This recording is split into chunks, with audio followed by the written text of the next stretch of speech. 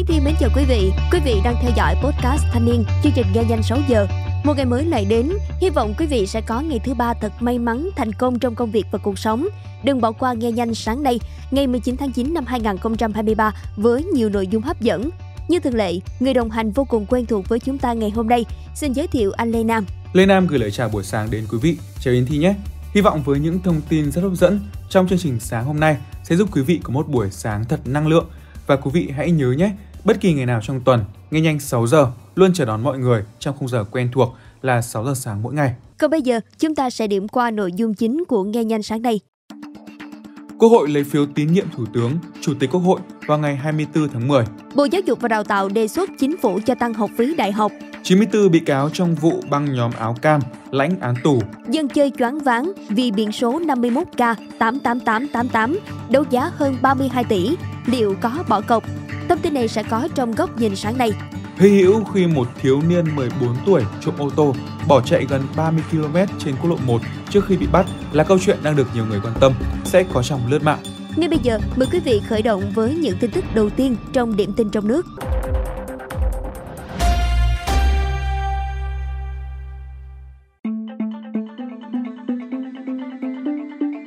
Thưa quý vị, chiều hôm qua, ngày 18 tháng 9, Ủy ban Thường vụ Quốc hội tiếp tục họp phiên 26 cho ý kiến về việc chuẩn bị kỳ họp 6 Quốc hội khóa 15. Báo cáo việc chuẩn bị cho kỳ họp, Tổng thư ký Quốc hội Bùi Văn Cường cho hay, sau khi tổng hợp ý kiến của chính phủ, các cơ quan, tình hình thực tế hồ sơ tài liệu, kỳ họp 6 dự kiến khai mạc vào ngày 23 tháng 10, bế mạc vào ngày 29 tháng 11, kéo dài trong 25 ngày làm việc và chia làm hai đợt họp tập trung. Đợt 1 kéo dài 20,5 ngày làm việc, từ 23 tháng 10 đến 16 tháng 11, đợt 2 kéo dài 4,5 ngày, từ ngày 24 tháng 11 đến ngày 29 tháng 11. Tại kỳ họp 6, Quốc hội dự kiến sẽ tiến hành lấy phiếu tín nhiệm đối với các chức danh do Quốc hội bầu và phê chuẩn. Theo dự kiến, chương trình kỳ họp 6, việc lấy phiếu tín nhiệm sẽ được tiến hành ngay cuối chiều ngày khai kỳ họp, tức ngày 23 tháng 10. Tổng thư ký Quốc hội Bùi Văn Cường cho hay, theo ý kiến đề nghị của ban công tác đại biểu, việc lấy phiếu tín nhiệm tại kỳ họp 6 sẽ được tiến hành trong 3 phiên họp. Tại lần lấy phiếu tín nhiệm tới đây, Quốc hội sẽ không tiến hành lấy phiếu tín nhiệm đối với Chủ tịch nước Võ Văn Thưởng, hai Phó Thủ tướng Trần Hồng Hà và Trần Lưu Quang, Bộ trưởng Bộ Tài nguyên và Môi trường Đặng Quốc Khánh và chủ nhiệm Ủy ban Tài chính Ngân sách Lê Quang Mạnh. Cả năm vị này đều được Quốc hội bầu phê chuẩn bổ nhiệm trong năm 2023. Theo quy định tại Nghị quyết 96 thì chậm nhất là 45 ngày trước ngày khai mạc kỳ họp Quốc hội. Ủy ban Thường vụ Quốc hội dự kiến danh sách những người được lấy phiếu tín nhiệm. Ủy ban Thường vụ Quốc hội cũng sẽ có văn bản yêu cầu người được lấy phiếu tín nhiệm gửi báo cáo và bản kê khai tài sản, thu nhập đến Ủy ban Thường vụ Quốc hội làm căn cứ lấy phiếu tín nhiệm. Trao đổi với báo chí sáng hôm qua, ngày 18 tháng 9, nguyên bí thư thành ủy Hà Nội Phạm Quang Nghị cho rằng ở thủ đô không chỉ có tòa chung cư mini bị cháy ở số 37, ngõ 29 xoẹt 70, phố Khương Hạ, tại phường Khương Đình, quận Thanh Xuân, thành phố Hà Nội, xây vượt tầng so với giấy phép xây dựng, mà còn rất nhiều công trình xây dựng khác xây vượt tầng. Tuy nhiên, ông Nghị cho hay đang có một thực tế là xử phạt rồi để cho các công trình vi phạm trật tự xây dựng này tồn tại. Nếu chỉ phạt cho tồn tại thì chủ đầu tư sẽ mong được phạt để hợp thức hóa vi phạm. Bởi lẽ, họ kiếm được lợi nhuận rất lớn từ phần công trình vi phạm. Đối với khoản lợi nhuận này, chủ đầu tư sẽ dùng để chạy chọt, hối lộ, sau đó vẫn lãi nên tiếp tục vi phạm. Cũng theo nguyên bí thư Thành ủy Hà Nội, đối với công trình vi phạm được phạt rồi cho tồn tại, nếu bị kiểm tra, cán bộ sẽ báo cáo rằng họ đã đi kiểm tra và xử phạt rồi, nhưng chỉ xử phạt nửa chừng, không tiến hành cưỡng chế. Việc cán bộ quản lý, cán bộ địa phương phạt cho tồn tại là hình thức đồng phạm một cách hợp pháp với sai phạm nên cần phải xem xét làm rõ trách nhiệm. Đáng chú ý, ông Nghị cho rằng đằng sau mỗi công trình chung cư mini xây vượt tầng so với giấy phép là cả một thế lực lớn chống lưng. Ông Nghị cho biết không phải mình đương đầu với chủ công trình vi phạm mà còn đương đầu với cả người chống lưng đó. Bộ Giáo dục và Đào tạo đã có tờ trình số 1418 gửi chính phủ về dự thảo sửa đổi, bổ sung một số điều của Nghị định 81. Trong nội dung tờ trình, Bộ Giáo dục và Đào tạo đề xuất chính phủ cho tăng học phí đại học. Động thái mới này của Bộ Giáo dục và Đào tạo thực chất là tiếp tục đưa ra đề xuất ban đầu là đề nghị chính phủ cho phép thực hiện Nghị định 81 nhưng lùi lộ trình thực hiện một năm. Theo đề xuất của Bộ Giáo dục Đào tạo, mức trần học phí với đại học công lập chưa tự đảm bảo chi thường xuyên năm học 2023-2024 là 1,2 đến 2,45 triệu đồng một tháng tùy khối ngành. Theo Nghị định 81, đây là mức thu của năm học 2022-2023, nhưng chưa bao giờ thực hiện, còn mức thu của năm học 2023-2024 mà Nghị định 81 quy định là 1,35 đến 2,76 triệu đồng một tháng. Với những trường đã tự chủ, tùy mức độ được thu tối đa bằng 2 đến 2,5 lần mức này.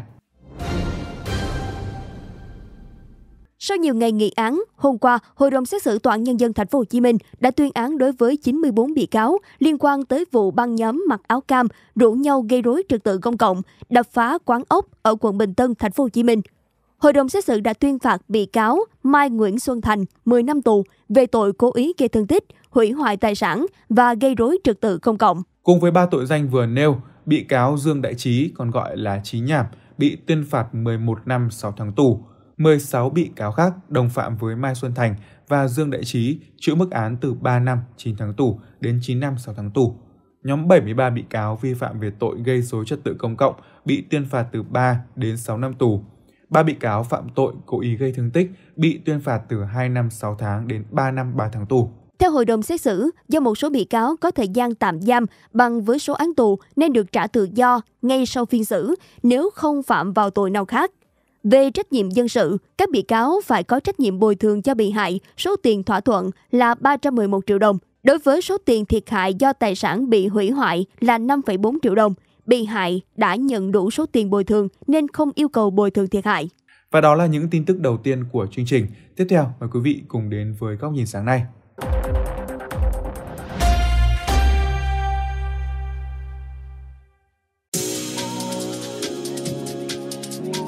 Alena ơi, chuyện về thông tư 24 thì đã được đề cập đến rất là nhiều trong chương trình trước rồi đúng không ạ? Đúng rồi Thi ơi, với những tưởng là sau khi thông tư 24 năm 2023 có hiệu lực thì những chiếc biển số đẹp sẽ không còn hot như xưa khi giờ đây mỗi biển số được cấp đều gắn với mã định danh của mỗi người. Thì phiên đấu giá biển số siêu VIP hôm ngày 15 tháng 9 vừa qua vẫn chứng kiến rất nhiều kỷ lục. Đơn cử như là biển số 51K 88888 được chốt lên đến 32,24 tỷ đồng. Mức giá này khiến cho nhiều người trong giới chơi biển số đẹp choáng váng vì nó quá cao. Um, có thể hình dung như thế này, nếu như mà mỗi căn chung cư hiện nay có giá khoảng 4 tỷ đến 5 tỷ đồng chẳng hạn, tất nhiên là chúng ta sẽ không bàn đến những căn chung cư hạng sang đắt đỏ mà chỉ đang lấy mức giá phổ biến hiện nay thôi thì số tiền bỏ ra cho chiếc biển số này uh, có thể mua được khoảng 6 đến 8 căn chung cư hoặc là vài ba căn nhà mặt đất. Nhiều người hẳn sẽ thắc mắc tại sao phải chi số tiền lớn đến như vậy để sở hữu một biển số xe đúng không Thi ơi?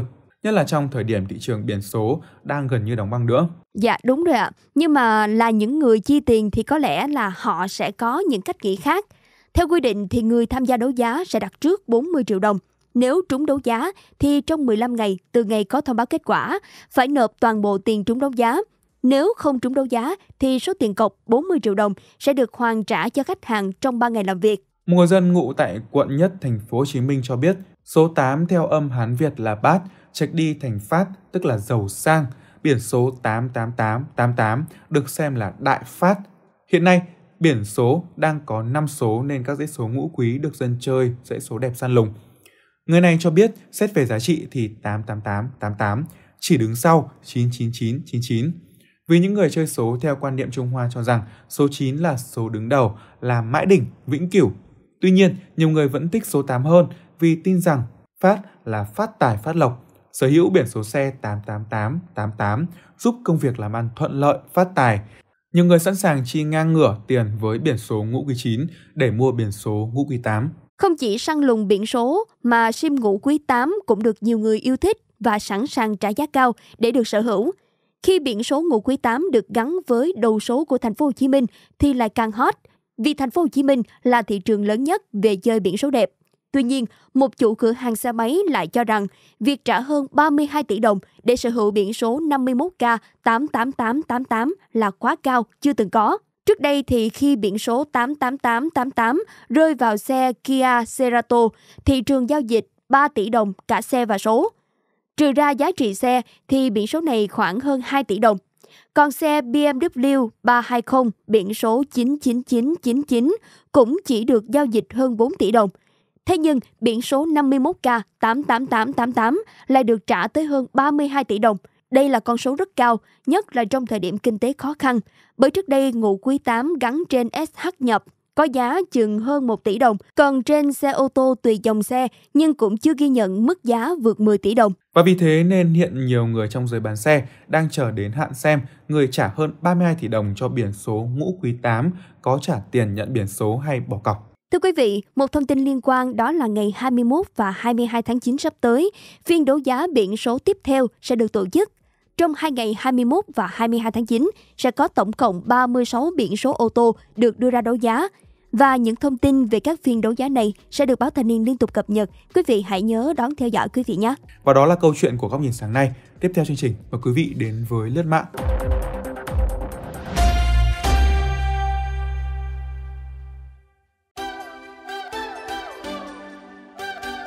Thưa quý vị, thông tin được người dùng mạng xã hội quan tâm trong vài ngày qua là một sự việc hy hữu khi một thiếu niên 14 tuổi đã trộm ô tô tập lái rồi bỏ chạy gần 30 km trên quốc lộ 1 trước khi bị bắt giữ. Điều đáng nói, đây không phải lần đầu mà thiếu niên này đã trộm ô tô nhiều lần trước đó. Vào khoảng 22 giờ 50 phút ngày 16 tháng 9 năm 2023, người dân và công an chặn được một ô tô có dán chữ tập lái Xe này bị một người lấy trộm ở thành phố Phan Thiết thuộc tỉnh Bình Thuận rồi bỏ chạy về hướng thành phố Hồ Chí Minh, nhưng đến ngã 330 qua khu phố Lập Hòa, thị trấn Thuận Nam thì bị chặn bắt được. Qua xác minh, người trộm ô tô là thiếu niên sinh năm 2009, trú tại xã Hàm Hiệp, Hàm Thuận Bắc, tỉnh Bình Thuận, tức là mới chỉ 14 tuổi. Theo điều tra ban đầu, tháng 2 năm 2023, thiếu niên này từng trộm xe tải loại 3,5 tấn tại thành phố Nha Trang thuộc tỉnh Khánh Hòa, rồi chạy vào tỉnh Đồng Nai thì bị bắt. Rạng sáng 1 tháng 5 năm 2023, thiếu niên này tiếp tục trộm một chiếc xe khách 30 chỗ ngồi tại một gara trên địa bàn xã Hàm Liêm, huyện Hàm Thuận Bắc, chạy và gây tai nạn. Được biết, người này đang bị công an huyện Hàm Thuận Bắc ra lệnh cấm đi khỏi nơi cư trú, nhưng vẫn tiếp tục đi trộm ô tô. Vâng, rất may mắn là siêu trộm nhí này chưa gây tai nạn hay sự cố gì đáng tiếc trên đường bỏ chạy đúng không Yến Thi? Rất là nguy hiểm đúng không ạ? Mong là lực lượng chức năng sẽ có phương án xử lý thiếu niên này để không xảy ra những vụ việc tương tự.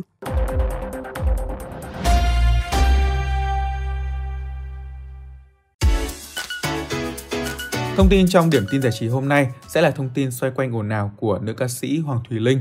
Thưa quý vị, sau thời gian im lặng và nhận khá nhiều chỉ trích vì thái độ được cho là ngôi sao, Hoàng Thùy Linh đã lên tiếng xin lỗi. Hoàng Thùy Linh thừa nhận còn nhiều thiếu sót trong cách giao tiếp và gửi lời xin lỗi đến mọi người. Nữ ca sĩ chia sẻ, Hoàng Thùy Linh xin được gửi lời xin lỗi chân thành đến những người đã yêu thương, tin tưởng và ở bên cạnh Linh. Vì những thông tin đã gây ảnh hưởng đến tâm trạng mọi người trong hơn 10 ngày qua, khiến mọi người buồn lòng, đặc biệt là trước thời điểm mà chúng ta sắp được đoàn viên sau gần hai thập kỷ yêu thương nhau. Đồng thời, nữ ca sĩ cũng hứa sẽ rút kinh nghiệm và không phạm sai lầm tương tự. Cô bộc bạch, Linh xin được rút kinh nghiệm sâu sắc, xin được học hỏi và khéo léo hơn trong giao tiếp, trò chuyện và chia sẻ. Linh hiểu rằng bản thân có trách nhiệm gửi lời xin lỗi đến khán giả yêu thương vì lòng tốt nhận được từ mọi người. Đó cũng là động lực để Linh nỗ lực và cố gắng qua từng ấy năm. Trong suốt quãng đường hoạt động nghệ thuật, Linh luôn biết ưu và nhược điểm của mình, cố gắng hoàn thiện phong cách trong dòng nhạc mà Linh đã chọn. Linh luôn hy vọng khán giả cảm nhận được điều đó qua từng sản phẩm. Bên cạnh đó, cô còn khẳng định trong suốt quá trình theo đuổi nghệ thuật, bản thân luôn không ngừng học hỏi để tiến bộ và đóng góp những tác phẩm nghệ thuật hay cho công chúng. Hoàng Thùy Linh cũng gửi lời cảm ơn đến tất cả những đóng góp ý kiến của khán giả trong suốt thời gian vừa qua. Trước đó hôm ngày 6 tháng 9, Hoàng Thùy Linh có buổi gặp gỡ truyền thông để giới thiệu về đêm nhạc Vitamin Concert. Trong phần trả lời báo chí, cô khiến nhiều người khó hiểu với những câu trả lời vòng vo, nhập nhằng và không đi vào trọng tâm. Hơn thế nữa, giọng ca tứ phủ còn chất vấn ngược lại phóng viên khi được hỏi về khả năng hát live hay về vai trò của nhạc sĩ Hồ Hoài Anh trong show diễn này. Sau khi đoạn chia sẻ này được đăng tải, Hoàng Thúy Linh nhận về không ít gạch đá vì thái độ trịnh thượng, thậm chí cô còn bị đánh giá là ứng xử kém và mắc bệnh ngôi sao.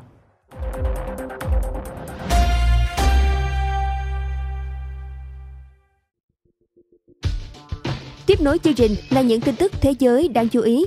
Thưa quý vị, theo AFP, trong một tuyên bố, cơ quan phòng vệ Đài Loan cho biết, con số 103 máy bay Trung Quốc bị phát hiện là mức cao nhất trong thời gian gần đây và đặt ra những thách thức nghiêm trọng đối với an ninh ở eo biển Đài Loan và trong khu vực. Theo AFP, dẫn tuyên bố của cơ quan phòng vệ Đài Loan, trong tổng số máy bay Trung Quốc được phát hiện, có 40 chiếc đã vượt qua đường trung tuyến của eo biển Đài Loan và bay vào vùng nhận diện phòng không của Đài Loan. Hiện chưa có thông tin về phản ứng của Trung Quốc. Trong tuần trước, cơ quan phòng vệ Đài Loan nói đã phát hiện số lần máy bay quân sự và tàu Trung Quốc xuất hiện xung quanh hòn đảo này ngày càng tăng sau khi Bắc Kinh tuyên bố quân đội Trung Quốc đang cảnh giác cao độ sau khi hai tàu của Mỹ và Canada đi qua eo biển Đài Loan vào ngày 9 tháng 9. Cơ quan phòng vệ Đài Loan nói rằng đã phát hiện 68 máy bay và 10 tàu hải quân Trung Quốc xung quanh hòn đảo từ sáng ngày 13 tháng 9 đến ngày 14 tháng 9. Trong phim tài liệu Laura Kanberg, Stay Up Chaos, tạm dịch là Laura Kanberg, trạng thái hỗn loạn do đài BBC vừa công chiếu. Một nguồn tin cho biết cựu Thủ tướng Anh Boris Johnson phải được nhắc nhở về hiến pháp Bộ phim tài liệu do đài BBC thực hiện cho biết các quan chức cấp cao của chính phủ Anh đã nói chuyện với cung điện Buckingham để bày tỏ lo ngại về cách hành xử của ông Boris Johnson, khi đó còn là Thủ tướng Anh. Ngoài ra cũng có thông tin cho rằng chính phủ đã từng phải nhờ nữ hoàng Elizabeth đệ nhị đề cập vấn đề này với ông Johnson trong các buổi gặp riêng. Chương trình của BBC không nói rõ hành động nào của ông Johnson gây ra mối lo ngại nhưng nêu bật những cuộc đụng độ giữa ông Dominic Cummings, chánh văn phòng của ông Johnson khi ông bắt đầu làm thủ tướng, và ông Mark Sedwill, cựu lãnh đạo cơ quan dân vụ Anh. Chương trình của BBC cũng xem xét những biến động chính trị ở Anh giữa cuộc trưng cầu dân Ý rời Liên minh châu Âu EU và các cuộc thảo luận với cung điện diễn ra vào khoảng tháng 5 năm 2020. Trong bối cảnh được gọi là căng thẳng đáng kể giữa các cấp dưới của ông Johnson và cơ quan dân sự, BBC cho biết các cuộc gọi giữa các quan chức nhà số 10 ở phố Downing, nhà của Thủ tướng Anh và cung điện đã vượt quá mức liên lạc thông thường. Hy vọng lúc đó đối với các quan chức là nữ hoàng Anh có thể nêu vấn đề này trong các cuộc trò chuyện riêng với Thủ tướng.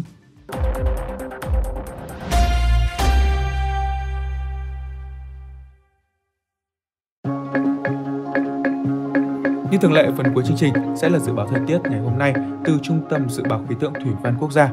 Thưa quý vị, tại Hà Nội hôm nay có mây, sáng sớm có mưa rào rải rác và có nơi có rông, ngày nắng, gió nhẹ. Trong mưa rông có thể xảy ra lốc, xét và gió giật mạnh. Nhiệt độ thấp nhất từ 24 đến 26 độ, nhiệt độ cao nhất từ 31 đến 33 độ.